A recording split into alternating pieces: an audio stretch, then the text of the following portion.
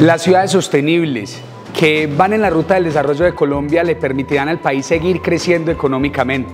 Los cables aéreos, las ciclorrutas, las ciudades para la gente es donde viene creciendo Manizales y todo el eje cafetero en los próximos 20 años sin duda alguna será la región más poderosa económicamente de Colombia.